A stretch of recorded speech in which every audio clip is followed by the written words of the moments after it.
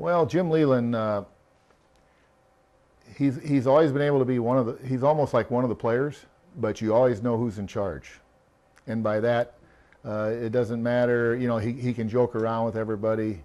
He can do things, say things that a lot of guys couldn't get away with, joking around just like he's one of the guys. But yet, you always know that he's in charge because when it comes time to lay the law down, he can lay the law down, and of course, he's unbelievably prepared. Uh, he's done his homework from the day he got into baseball to be where he's at, to be in baseball as long as he could, and he knows how to handle the press. But the main thing is he knows how to handle the players and get the most out of the players and to put them in situations where they'll be successful.